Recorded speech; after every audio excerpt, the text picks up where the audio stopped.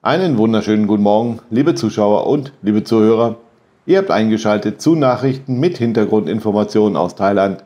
Heute vom Sonntag, dem 14. Juli 2024. Die Themen der heutigen Sendung werden sein 60 Tage visumfreie Einreise ab 15. Juli.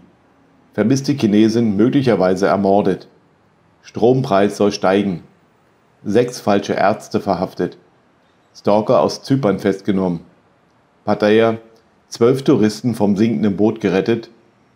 Polizei geht gegen ausländische Motorradraser vor.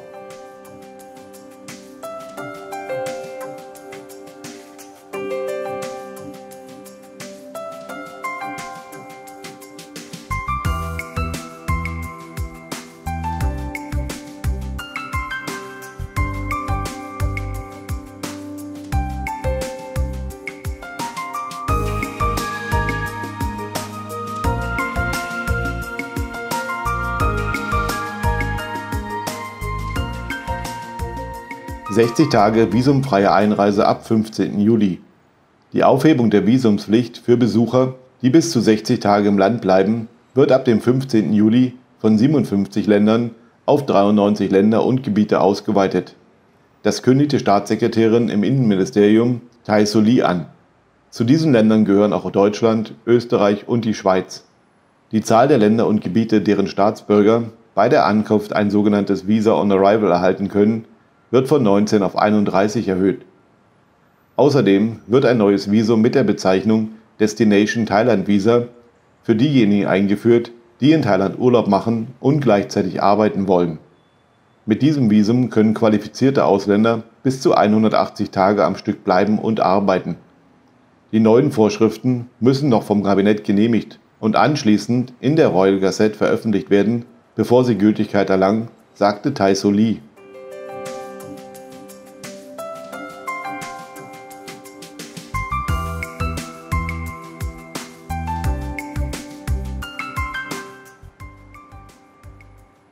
vermisste Chinesin möglicherweise ermordet. Die Polizei hat gestern auf einem Grundstück in der Nähe einer Wohnsiedlung in der Provinz Chao Cheng Sao eine verwesene Leiche in einem Plastiksack gefunden. Es handelt sich vermutlich um die Leiche einer vermissten Chinesin. Sie wurde zuletzt am 1. Juli gegen 14 Uhr in Bangkok Sukhumvit Viertel mit einem Chinesen gesehen, der sie abholte und in einem Mietwagen wegfuhr. Der Polizeisprecher sagte, der Mann habe am 3. Juli das Land verlassen und sei nach Hongkong geflogen. Zuvor hatte jemand Verwandte der vermissten Frau in China kontaktiert und behauptet, die Chinesin entführt zu haben. Er forderte ein Lösegeld von umgerechnet 5 Millionen Baht für ihre Freilassung.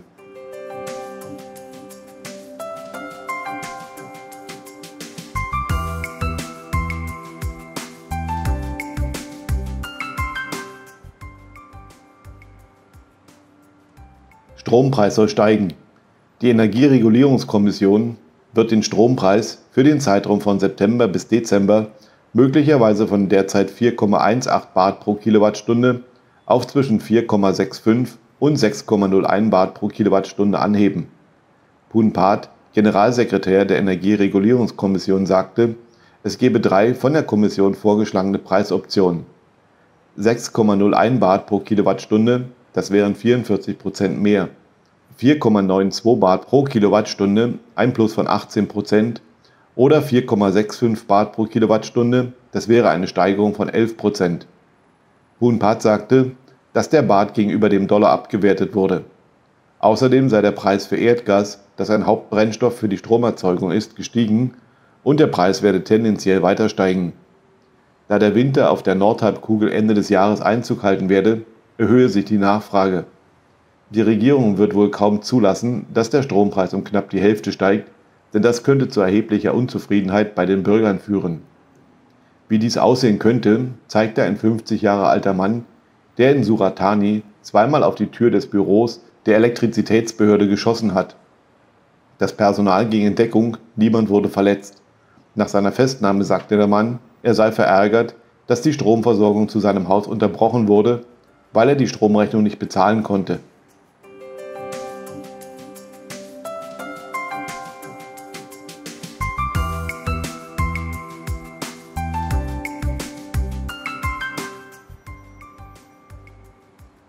Sechs falsche Ärzte verhaftet. An fünf Standorten in Patumtani und Nonthaburi wurden von Hochstaplern medizinische und kosmetische Behandlungen angeboten. Beamte führten Razzien in fünf Kliniken in den beiden Zentralprovinzen durch, nachdem es Beschwerden darüber gab, dass unqualifiziertes Personal medizinische Behandlungen durchführte, sagte ein Polizeisprecher.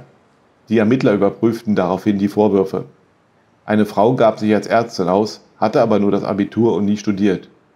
Eine andere Frau hatte nur die mittlere Reife, eine andere hatte immerhin die Berufsschule besucht.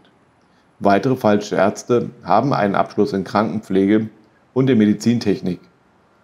Eine Person, die sich als Doktor ausgab, hatte Informatik studiert und eine Ausbildung zur Krankenpflegehelferin absolviert.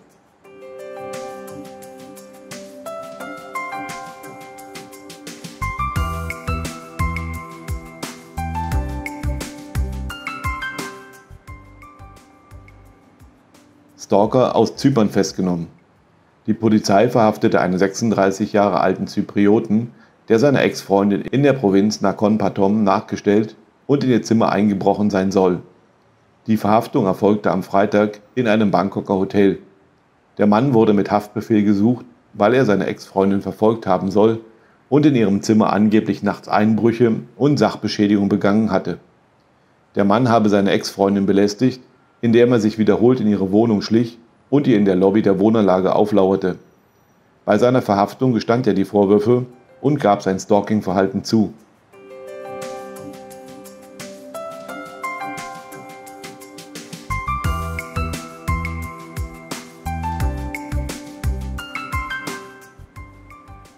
Pattaya. Zwölf Touristen von sinkendem Boot gerettet.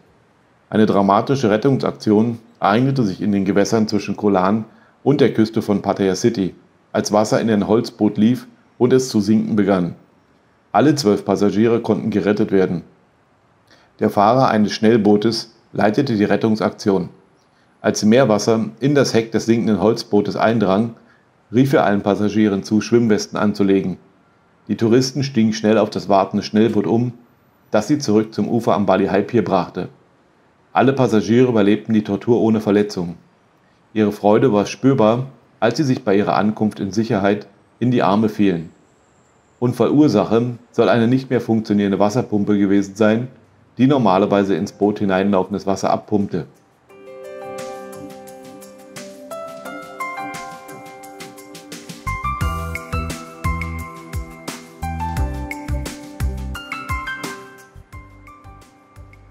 Polizei geht gegen ausländische Motorradraser vor. Als Reaktion auf Beschwerden von Anwohnern über ausländische Motorradraser hat die Polizei Sofortmaßnahmen ergriffen und Kontrollstellen eingerichtet. Vor allem ging es um eine Gruppe von Touristen aus dem Nahen Osten, die in der Soi Yensabai in Südpattaya Unannehmlichkeiten verursachten. Sie fuhren Motorradrennen, fuhren ohne Helm, hupten, hatten keine Zulassung und keinen Führerschein. Insgesamt fiel die sogenannte Partyszene wegen Lärmbelästigung und Erregung öffentlichen Ärgernisses auf.